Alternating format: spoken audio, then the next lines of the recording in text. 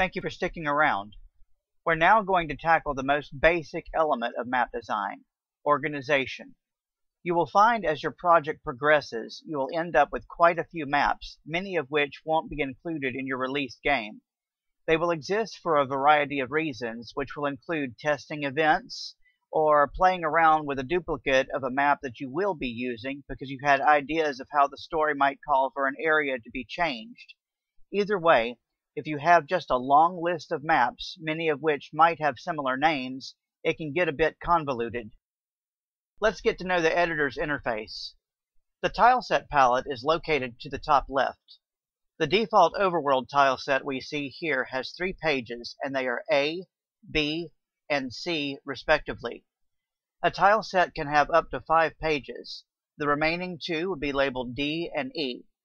The R page persists for all tilesets and is used for defining regions on a map.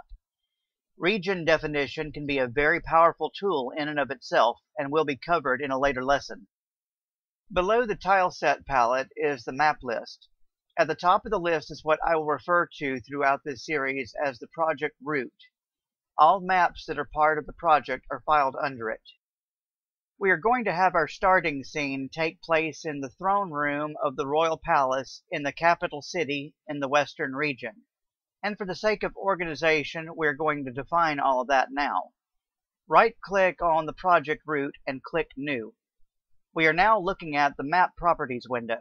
And while there are a lot of things we can do here, at the moment we are only looking at one thing, the name field. Let's set it to Western Region and click OK. So now we have a map under the project root called Western Region.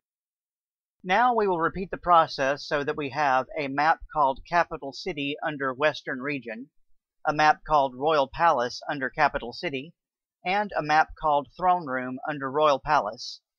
New maps will always be added under whatever entry on the map list we select before adding. So in just a few moments we have set the framework for all the maps that will exist in the Western region.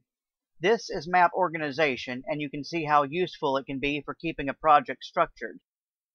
That's it for this lesson. In the next one, we are going to design the throne room.